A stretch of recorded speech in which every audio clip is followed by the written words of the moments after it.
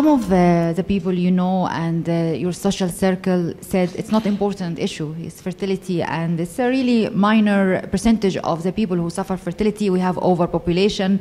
Why we care really about fertility? But the numbers which i am going to say and you are going to confirm is shocking because uh, one couple every four couples are suffering from infertility in developing countries and in africa. 85% of these people who suffer infertility, it can be preventable. 85%. They are already caused infertility for the, un, untreated infectious diseases, uh, safe un, unsafe an abortion, or unsafe uh, delivery, or uh, STDs, or whatever causes of infection which is not treated, and, and then it's too late, and the whole secondary infertility or the infertility uh, being caused. So hence, the, the, the campaign is very important because it will raise awareness about prevention. So we can actually eliminate 85% of the cause of the problem. And then for the rest, if we succeeded to have this prevention, they will know that it's not only the woman who's been to, to blamed for fertility, because 50% of the fertility cases due to male factor. So let us discuss this together too. Uh, thank you, Rasha. Um, it's very true because, like, as you heard from my story, if the infection was detected earlier, then such problems would not have arisen. Like blockage of my tubes, that is due to infection that was not treated.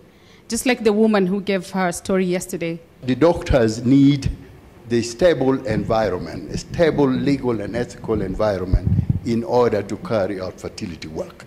That does not mean that uh, legal and ethical arguments will not continue to take place in society because society has got subsystems in which colliding ethical judgments and colliding social values occur.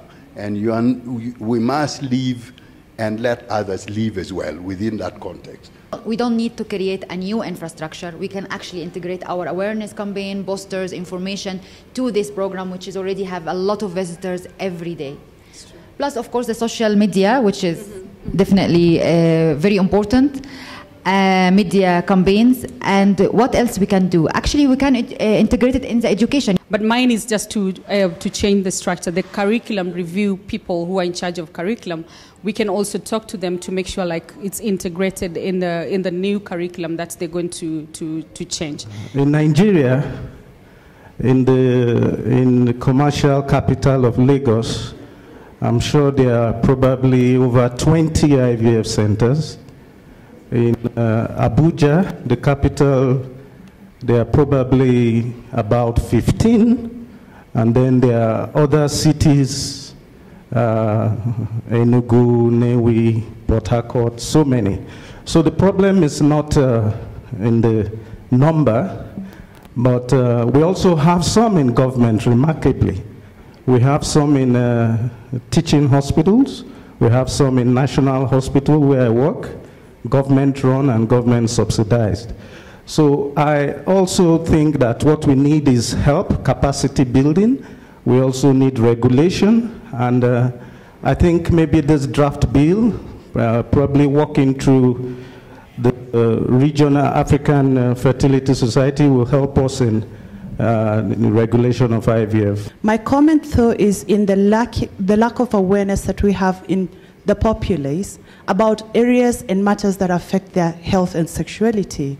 For example, you mentioned about the colon biopsy and cervical cancer and the doctor has asked whether a simpler method could have been used to diagnose for cervical cancer or to negate the cervical cancer diagnosis.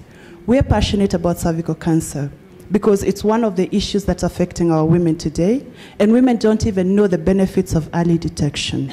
So my appeal to you is, as you're championing on infertility in Parliament, can we also have your core members who are also women in Parliament talking about other issues that affect women that also have magnitudes large magnitude of effects on their families as well, cervical cancer being one of them. So I think we, we have so much to do, especially in, in, in Africa, on how we think about sex education. What, what is it that you know, makes us so like it's a sacred thing that we cannot talk about it openly? But you see, when we do that, the young people suffer because sometimes they want to hear from us. Like we've gone through this, we've had this experience, we don't want you to go through the same. And these are the measures, these are the steps that you can take to make sure that you're, you're safe.